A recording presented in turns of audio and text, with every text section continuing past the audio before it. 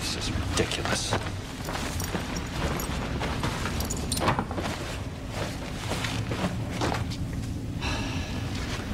Satisfied? Clara? Don't drop my clothes.